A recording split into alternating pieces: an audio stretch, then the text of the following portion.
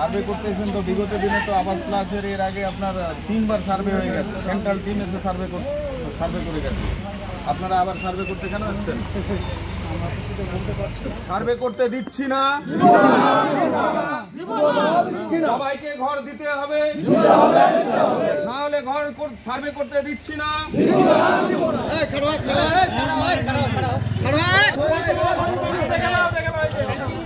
দুর্নীতির অভিযোগে এই রাজ্যে বন্ধ কেন্দ্র সরকারের আবাস যোজনার টাকা। যদিও পরে রাজ্য সরকারের পক্ষ থেকে আবাস যোজনার টাকা দেওয়ার কথা ঘোষণা করা হয়, সেই অনুযায়ী শুরু হয়েছে সার্ভে। রাজ্য প্রশাসনের তরফে আবাস যোজনা সার্ভের প্রতিনিধিরা গ্রামে গ্রামে যেতেই শুরু বিক্ষোভ। এলাকাবাসীর সঙ্গে সেই বিক্ষোভে সামিল হলেন স্থানীয় তৃণমূল নেতা এবং জনপ্রতিনিধিরা। ঘটনাকে ঘিরে চাঞ্চল্য, মালদার হরিশ্চন্দ্রপুর দু নম্বর ব্লকের মালিয়র দু নম্বর গ্রাম পঞ্চায়েতের তালসুর গ্রামে। এলাকাবাসীর অভিযোগ দু সালের ভয়াবহ বন্যায় অনেকের ঘর ক্ষতিগ্রস্ত হয়েছিল। পরবর্তীতে কেন্দ্র সরকারের আবাস যোজনা সার্ভের তালিকায় তাদের নাম থাকলেও তারা কেউ ঘর পায়নি। ফলে রাজ্য সরকারের পক্ষ থেকে নতুন করে সার্ভে শুরু হওয়ায় তালিকা থেকে বঞ্চিত হওয়ার আশঙ্কা করছেন উপভোক্তারা। ফলে এদিন প্রশাসনের প্রতিনিধিদের ঘিরে তুমুল বিক্ষোভ দেখান তারা। তিনবার সার্ভে হয়ে গেছে, কোনোটাই ঘর এখন পর্যন্ত হয়নি। না হওয়ার কারণে আমরা বিক্ষোভ করেছি।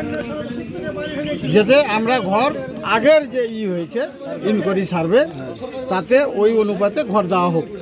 তাহলে কি আপনারা সার্ভে করতে দেবেন না? না। সরকার আর সেন্ট্রাল তো একই ব্যাপার ওদের। রাজ্য সরকারই পাঠিয়েছে আর ইয়ে পাঠাচ্ছে তো ঘুরে একই ব্যাপার ওদের। আমরা ঘর চাই রাজ্য সরকার দিচ্ছে কি কেন্দ্র দিচ্ছে জানি না। আমাদের লাভ নেই। আমরা ঘর চাই। দিলে ওইভাবে দেখ আর না হলে না দেখ। এই জন্য বিক্ষোভ আমরা করেছি। এদিন এই বিক্ষোভ শুধু তালসুর নয়, পার্শ্ববর্তী সুলতাননগর, ইসলামপুর, সাদলিচক, দৌলতপুর সহ বিভিন্ন গ্রাম পঞ্চায়েত এলাকায় প্রদর্শিত হয়। অন্যদিকে এদিন সেই বিক্ষোভে সামিল ছিলেন স্থানীয় তৃণমূল নেতারাও। পঞ্চায়েত প্রধানের স্বামী থেকে শুরু করে সদস্য সকলেই এলাকাবাসীর পাশে দাঁড়ান। সার্ভের টিমকে গো ব্যাক স্লোগান দেন তারা। স্থানীয় তৃণমূল নেতা তথা পঞ্চায়েত প্রধানের স্বামী ফিরোজ হোসেনের দাবি, এই সার্ভেতে যা শর্ত হয়েছে তাতে কেউ ঘর পাবে না। তাই আগের তালিকায় যাদের নাম ছিল তাদেরই ঘর দিতে হবে। বাধা দিলাম এই জন্য, আমাদের জনগণ বাধা দিল এই জন্য যে দু হাজার সতেরো সালে ভয়াবহ ভয়াবহ বন্যা হয়েছিল। এই জায়গাগুলোতে এতটা করে জল ছিল।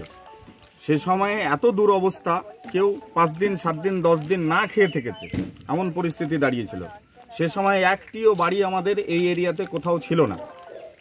সে সময়ে সার্ভে করে সবারই নাম তোলা হয়েছে, বাড়ি বাড়ি গিয়ে। তারপর থেকে কেন্দ্রীয় সেন্ট্রাল টিম দিয়ে তিনবার পরপর সার্ভে করা হয়েছে। তারপরে একটা নির্দিষ্টভাবে একটা লিস্ট তৈরি হয়ে আছে। এই দেব দিচ্ছি দেব দিচ্ছি করতে করতে আমাদের এখন পর্যন্ত ঘর দেয়নি বা আমাদের লোকজন ঘর পায়নি, এনাদের যা অভিযোগ। এখন বর্তমানে আবার সার্ভে করে ইনকোয়ারি করতে পাঠিয়েছে। ইনকোয়ারির যা ক্রাইটেরিয়া দেখেছি, তাতে একটিও লোক ঘর পাবে না। তা আমরা সবাই মিলে আলোচনা করেছি। যাদের নাম কেন্দ্রীয় সেন্ট্রাল টিম ইনকোয়ারি করে সাব্যস্ত করেছে প্রত্যেককে ঘর দিতে হবে নচিত আমরা এই ইনকোয়ারি করতে কোনো মতে দেবো না। এদিন সার্ভে করতে না পেরে ঘুরে যান প্রশাসনের তরফে আসা প্রতিনিধিরা। এই বিষয়ে তারা ঊর্ধ্বতন কর্তৃপক্ষকে জানানো হবে বলে জানিয়েছেন। আমরা এসেছিলাম প্রশাসনের তরফ থেকে। বাংলা যোজনার সার্ভে করতে। ওনাদের অভিযোগ আমাদেরকে সার্ভে করতে দেবে না। কি কারণে দেবে না? কি কারণে? এখন ওনারাই করা যাবে কারা বাধা দিচ্ছে এগুলো? আমাদের কিছু জনগণ এবং মেম্বার প্রধানরাও ছিল? প্রধান নেই প্রধানে আসবে আচ্ছা। আজকে কি এমনি ফিরে যেতে হলো আপনাদেরকে? তাহলে কি আজকে সার্ভে না করে কি ফিরে যেতে হলো আপনাদেরকে? যদি বাধা দেন করতে না দেয় তাহলে তো আমাদেরকে ফিরে যেতে বাধ্য হচ্ছে। আমাদের উদ্যোতন কর্তৃপক্ষকে আমরা জানাব বিষয়টা। অন্যদিকে এই ঘটনায় শাসক দলের বিরুদ্ধে দুর্নীতির অভিযোগে সরব হয়েছে বিজেপি এবং সিপিএম নেতৃত্ব। ঘর পাইয়ে দিতে শাসক দলের নেতারা যে কাটমানি নিয়েছিল নতুন সার্ভের পর তা ফেরত দিতে হলে বিপাকে পড়বে বলেই এদিন এই বিক্ষোভ বলে কটাক্ষ বিরোধীদের।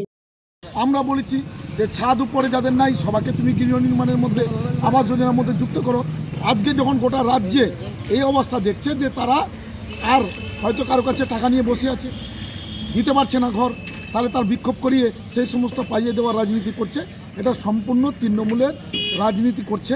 আমরা মনে করি প্রাকৃত পক্ষে বেনিফিশিয়ারি সিলেকশন হোক এবং প্রাকৃতপক্ষে যারা গরিব মানুষ, যারা পাওয়ার উপযুক্ত, তারা পাক। এটা আমরা সব দিনই সমর্থন করছি।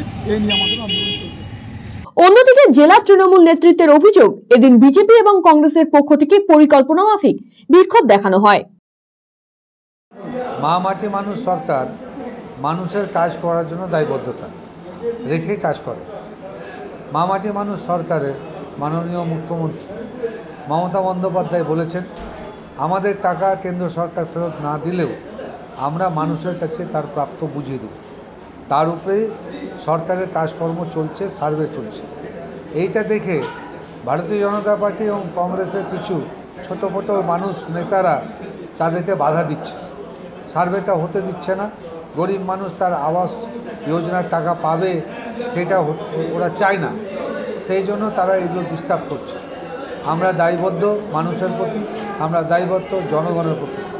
তাই আমরা আবাস যোজনা শুধু তাই না, প্রত্যেকটা যোজনা যে যোজনাতে মানুষ তার লাভান্বিত হবেন, সেটা করে দেওয়ার দায়বদ্ধতা রাখে আর সিটিভি সংবাদ, হরিশ্চন্দ্রপুর।